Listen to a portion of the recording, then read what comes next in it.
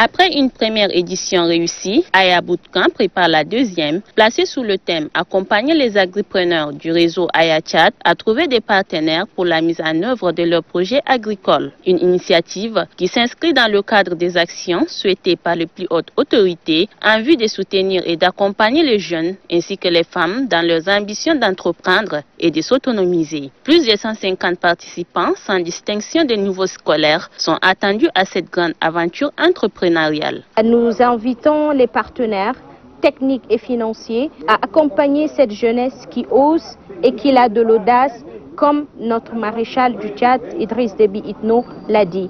Euh, on est cette jeunesse qui œuvre dans le domaine de l'entrepreneuriat vert.